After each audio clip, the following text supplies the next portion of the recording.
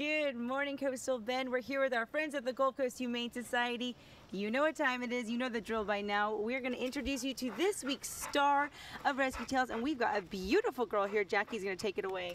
So this is Penny. She's a three-year-old American Staffordshire Terrier. Uh, she's a, such a sweet dog. She's really a staff favorite.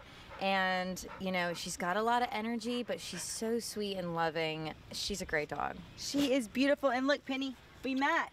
You did you you got my text this morning about wear lime green? you look so beautiful. Look at oh my goodness, you're so pretty. And how old is she? She is three years old. Oh my, you could not tell. She literally has the most beautiful coat.